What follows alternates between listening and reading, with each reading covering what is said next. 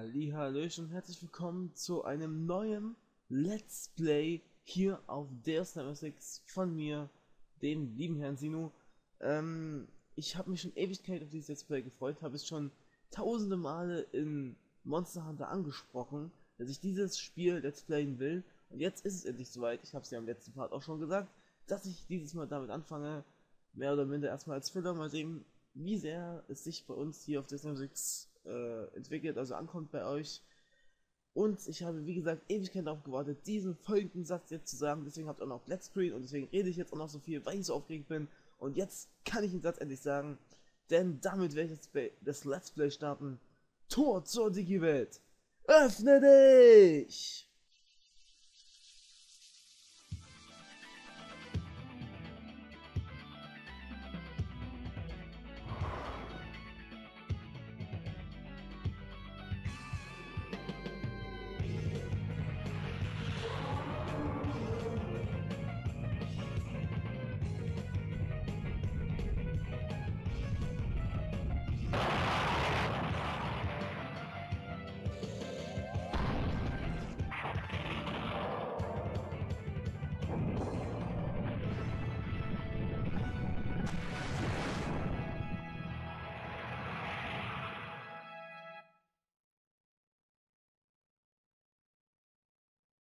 Und damit herzlich willkommen zu Digimon World. Das war das Spiel, was ich in meiner Kindheit am meisten gesuchtet habe. Ja, also ich kam aus dem Kindergarten raus und das Spiel musste gespielt werden. Allerdings ist der Startbildschirm gerade weggegangen, perfekt. Ähm, wir werden natürlich ein, uns in ein neues Abenteuer begeben. Und das auf Steckplatz 2. Denn auf Steckplatz 1 habe ich vorhin schon eine kleine Testaufnahme gemacht. Und gegen diese Testaufnahme werden wir am Ende des Let's Plays spielen. Eigentlich, also man kann, gibt hier ein 1 gegen 1, deswegen das. Und ähm, jetzt erstmal mit dem Spielen, Rest erkläre ich dann nachher, da mit genügend Zeit. Jijimon. Ich heiße Jijimon. Erzähl mir etwas über dich. Hast du ein Digivice? Ehrlich gesagt, ja, das habe ich. Hab sogar hier liegen, ich kann es herbringen, aber das könnt ihr leider nicht sehen. Ich verstehe. Nächste Frage. Was magst du lieber? Tag oder Nacht. Und hier entscheidet sich, sich, egal welche Frage ihr vorher genommen habt, für den Fall, dass ihr das Spiel auch spielen wollt, ähm, hier entscheidet sich, mit welchen Digimon ihr startet. Würdet ihr hier Tag, beziehungsweise die andere Frage, hab, hast du Freunde? Ja, nehmen, dann ähm, würdet ihr Agumon bekommen und bei Nacht oder hast du Freunde? Nein, Gabumon. Ist eine kleine Diskriminierung von Gabumon, muss ich zugeben, aber trotzdem ich wähle Tag, denn ich mag nur mal Tag lieber, denn nachts schlafe ich, zumindest momentan noch. Nun denn, wie heißt du? So, und nun zum nächsten großen Ereignis, das habe ich auch schon einmal angesprochen, aber egal, wir machen alles doppelt. Ähm, ich habe mal mit meinen analytischen Fähigkeiten bei jeder Digimon-Folge, sogar die, die bisher nur in Japan erschienen sind, die Namen verglichen. Und jeder hier, wirklich jeder Digi-Ritter, also Haupt-Digi-Ritter, fängt mit A an. Tai, ähm, Davis, Markus, also A an zweiter Stelle. Bei jedem Namen. Zuerst ist mir das nur bei den Vornamen aufgefallen und jetzt sogar auch noch bei den Nachnamen, da ist es genauso. Beispiel Markus Damon, das ist das einzige, wo ich es mir merken kann. Den Rest habe ich durchgeguckt und es stimmt auch. Und deswegen bin ich stolz darauf, hier meinen echten Namen preiszugeben. Der da wäre Hans Falk. Ja, A immer an zweiter Stelle. Und deswegen nenne ich mich hier auch so. Ich meine, es passt einfach dazu. Und deswegen kann man das hier auch mal machen. So. Man darf eh noch fünf Buchstaben nehmen. Ich könnte mich auch Sino nehmen, aber nennen, aber Hans, das passt hier einfach besser bei diesem Spiel. Deswegen mache ich das auch. Hans, stimmt's? Ja, es stimmt. Und wie heißt dein Digimon? Hier habe ich auch überlegt, aber ich denke für den Anfang nennen wir es erstmal DNX. Ähm, Abkürzung für DS96, leicht zu erkennen. Ich denke, das ist ein cooler Rufname. DNX, komm mal her. Locker flockig, es geht in Ordnung. DNX, und zwar ja. Ein guter Name. Bis später. So, und jetzt kommt der erste richtig storybezogene Video und da halte ich einfach mal meine Klappe.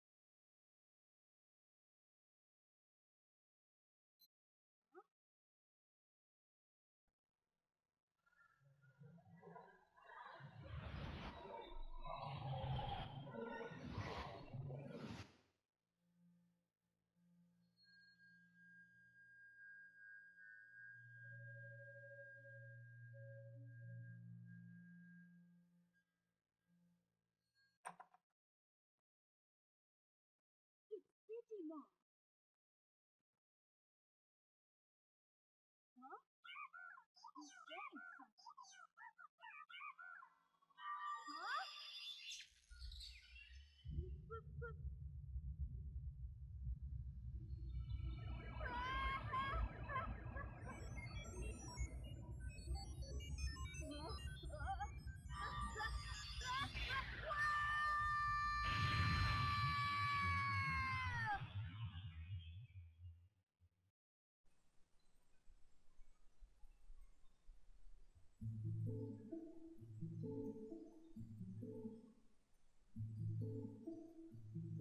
So, ähm, das mit der Musik gerade, das ist hier irgendwie bei mir die ganze Zeit so, ich weiß nicht wieso, aber das war auch schon vorhin die Testaufnahme so. Und jetzt erstmal weiter die Story, danach kann ich anfangen zu reden, was ich eigentlich schon die ganze Zeit will. Er ist da, es hat funktioniert. Ein Mensch, genau wie du gesagt hast, Gigi.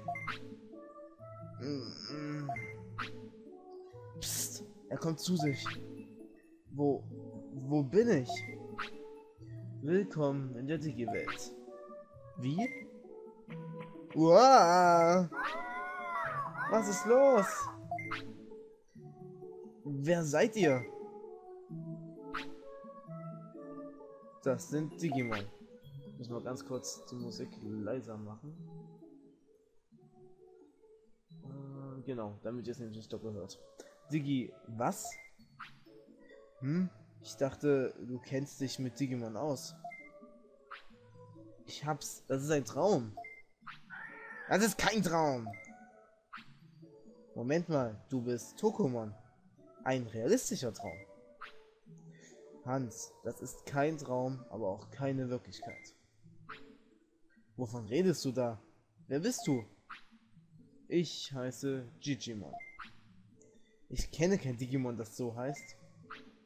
Es gibt mehr Digimon, als du weißt. Wir sind nämlich in der Digi-Welt. Digi-Welt? Diese Welt ist weder Traum noch Wirklichkeit. Sie ist unsere Welt. Puh, sieht wirklich zu echt für einen Traum aus.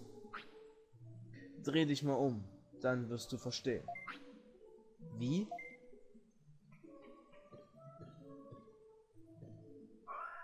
Ist das DNX? Ich weiß, Bonus. Ich bin in meinen... Hier muss ich mal ganz kurz korrigieren. Ich denke, das ist ein Übersetzungsfehler. Digi-Weiß geraten. Stimmt, genau. Warum bin ich hier? Komm mit hinein. Ich erklär's dir. So. Ich habe dich hergebeten, damit du uns rettest. Retten? Vor was? Wir sind in File City, in der Mitte der Pfeilinsel. Eine Stadt? Hier? Naja, es war mal eine Stadt. Hier haben früher lauter verschiedene Digimon gelebt. Aber viele Digimon verzagten und sind fortgezogen. Warum das denn? Ich kenne den Grund nicht. Einige Digimon verloren sogar ihre Sprachfähigkeit. Manche sprechen noch, aber sie haben alle vergessen, dass sie hier gelebt haben. Das meinst du also mit Verzagen? Wir dürfen nicht länger zusehen. Aber warum gerade ich? Du bist doch ein toller, hier muss ich wieder einkrätschen, Digimon-Tamer, oder? Oh ja, das bin ich. Merkst du eigentlich, dass du Digimon sprichst? Was? Ich spreche doch nur Deutsch. Für uns klingt es wie Digimon. Stimmt. In dieser Welt wird deine Liebe zu den Digimon dir Kraft verleihen. Danke. Deshalb habe ich dich gewählt. Du kannst alle Digimon der Insel retten. Wie? Hm. Klar, mache ich gern. Super! Danke, wir zählen auf dich. Womit fange ich an? Nimm DNX und erforsche die Insel. Such die Quelle der Gefahr und überzeuge die Digimon, Bonus herzukommen. Na dann los, DNX. Warte, da wäre noch... So, Und jetzt kann ich endlich anfangen, selber zu reden. Ähm, ja, das war jetzt Teil Story. Ich gebe zu, ist leicht wie ein Kinderspiel mit den Dialogen, aber ähm, ich, zei ich zeige euch jetzt erstmal File City, wie es momentan aussieht. Ähm, wir haben hier die Fleischfarm. Ja, richtig gehört. Fleischfarm, wird auch bloß mal gesagt. Möchtest du etwas Fleisch? Ach, tut mir leid, ich hab's ja noch gar nicht erklärt. Wir sind eine Fleischfarm und bauen Fleisch für alle an. Ihr baut Fleisch an? Ja, warum? Nichts, es ist schon gut. Erzähl weiter. Gigi und ich werden dir täglich drei Portionen Fleisch schenken, Hans. Hier ist deine heutige Ration. Drei Portionen Fleisch erhalten. So, ähm, hier gibt es immer Essen. Das Spielprinzip, falls, ja, habe ich noch nicht erklärt, ähm, ist relativ einfach. Ihr habt euer Digimon, also ich habe jetzt meins, ihr nehmt dann eures, das ist meins, Punkt aus, DNX gehört mir. Ähm, und dieses könnt ihr trainieren und dann gegen andere Digimon auf dieser Insel kämpfen, welche verzagt sind, um mal die Wortwahl zu wiederholen. Und ihr müsst versuchen, diese ganze Stadt wieder aufzubauen. Am Ende könnt ihr dann gegen einen Bossgegner kämpfen, also einen Endboss, welcher dieses Verzagen verursacht hat. So, allerdings dauert das jetzt noch eine ganze Weile und wir werden viel Spaß Welt haben. Zumindest ich.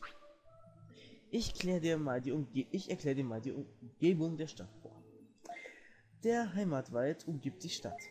Die Digimon dort sind nicht besonders stark. Im Westen liegt ein Trainingslager, dort wirst du bestimmt oft sein. Im Osten, an, äh, am anderen Flussufer, liegt der Tropendschungel. Wer weiß, was dahinter liegt? Im Westen liegt ein Berg und ein See. Dort geht es nicht weiter. Richtung Süden kommst du ans Meer. Und im Norden liegt ein hoher Berg. Dort geht es auch nicht weiter. Diese Stadt bildet den Mittelpunkt der Insel. Im Norden müssen große Gebiete liegen. Ich werde mich nach Gerüchten über die Gebiete umhören. Besuch mich bald Bonus. Ähm, dieses Bonus, ihr habt es wahrscheinlich schon mitgekriegt, mit euren analytischen Fähigkeiten heißt wieder, also ist in Digimon die Sprache für wieder. Ähm, wir haben hier noch ein weiteres Gebiet von Fire City, in dem momentan nur Tsumemon rumhängt, so ein bisschen abchillt. Wusstest du, dass im Ostteil der Stadt eine kaputte Brücke steht? Wir haben sie nie beachtet, weil keiner sie je benutzen wollte. Aber jetzt werden wir sie vielleicht reparieren. Erforscht erst den Süden und Westen. Komme ich dann Bonus besuchen. So. Damit haben wir jetzt auch mit einem Quatsch. Und es geht schon los. Agumon ist hungrig. Da müssen wir ihm gleich mal ein bisschen Fleisch geben. Haben wir ja vorhin geholt, so schlau wie wir sind. Und, ähm... Wie gesagt, man kann trainieren. Das werde ich euch jetzt als nächstes zeigen. Dazu aber vorher noch einmal für alle, die das Spiel anfangen. Es gibt einen mehr oder minder Geheimtipp, auf jeden Fall einen guten Start ins neue Leben mit euren Digimon. Und zwar auch in Digimons Haus. Dazu, wie gesagt, ich habe viel zu viel zu erzählen und viel zu wenig Zeit. Digimon, ähm, ihr kennt ja bestimmt ein Digimon, bei den Namen der Digimon setzt sich das Ganze, das war die falsche Taste, war also klar, ähm, setzt sich der Name immer aus irgendeinem äh, Beschreibung für das Monster zusammen, nach Mon für Monster. So, Gigi ist japanisch und bedeutet alter Mann. Ja, passt, ne? Behalt das. Viel Glück. Gegenstände erhalten. Drücke Kreis, um Gegenstände anzusehen. Wähle dann, in Ge dann Gegenstand, wähle dann Gegenstand und sieh dir mit X einen an. So. Da. Das haben wir bekommen. Ist auch ein guter Start. Wie ihr seht, Medizin und Verband. Das Digimon kann auch sich verletzen oder krank werden. Das passiert als Verletzen im Kampf und wenn man das eine Weile unbehandelt lässt, dann wird es krank. So, wir gehen jetzt allerdings erstmal schnell noch ins Trainingslager, bevor der erste Part dann auch schon bald wieder vorbei ist. Ähm, das ist genau hier, das grüne Trainingscamp. Das wird übrigens auch noch ausgebaut. Wie gesagt, ich, man muss die ganzen Digimon zurück in die Stadt holen und jedes Digimon, was kommt, baut es ein bisschen weiter auf. So, das Digimon hat Werte, ähm, die man im Kampf braucht. Da hätten wir als erstes den Angriff, den man hier trainieren kann. Danach hier das Leben, die Verteidigung, die Geschwindigkeit, MP und Intelligenz. Ich werde jetzt gar nichts trainieren, denn der erste Kampf folgt jetzt gleich. Und zwar im... Äh, verdammt. Muss doch sein, im Heimatwald, genau. Dass mir solche Namen meistens entfallen. Ist auch echt traurig. Und da kommt es auch schon unser erster Gegner. Ein Agumon. Wow! Hm? Hm? Wie jetzt? Äh, na gut, ich tu's. War so typisch Digimon-Sprache. Punkt, Punkt, Punkt. So, es geht los. Man kann jetzt selber nichts mehr machen, außer hier oben auswählen, was man tut. Also D Vertrauen. Ich dachte am Anfang das heißt dir Vertrauen, ist allerdings doch Digimon Vertrauen. Wobei ich mal die Musik von Digimon noch ein bisschen leiser mache. Ähm, da seht ihr rechts oben mein Leben und MP. Und links jetzt über ihm die Lebenspunkte von Agumon, unserem Gegner. Ähm, man kann ganz links, ähm, also Lebenspunkte jetzt schon rechts über meinen, man kann ganz links auswählen, was das Digimon machen soll. Je schlauer es ist, desto mehr Varianten gibt es da. Momentan habe ich nur Digimon Vertrauen und da es ein Storykampf ist, also gegen einen Gegner, der in das in die Stadt kommen könnte, kann ich auch nicht fliehen. Das wäre das rechts daneben. Als nächstes kommt dann stärkster Angriff, dann schwächster Angriff und so weiter und so fort, bis man irgendwann den Digimon direkt sagen kann, welche Attacke es machen darf. Hört sich allerdings gerade so an, als wenn meine Line-In-Stecker wieder nicht funktionieren. Doch, alles gut. Ähm, so, danach, wenn man gewinnt, bekommt man auch Werteerhöhungen. Dazu noch Geld. Und da es ein Storykampf war. Mist, ich habe verloren. Ja, ich sollte es in die Stadt einladen. Ähm, entschuldige. Würdest du in die Stadt kommen? Was? Stadt? Du meinst den alten Ort? Naja, äh, hm. Na schön, ich bin Argument. Nett dich kennenzulernen. Du, du, du, du, du. Argument zieht in die Stadt. So, versuchen kostet nichts. Ich werde weiterfragen. Und genau das werde ich jetzt auch machen. Erstmal die kleine Heilisk aufnehmen. Und danach weitersuchen.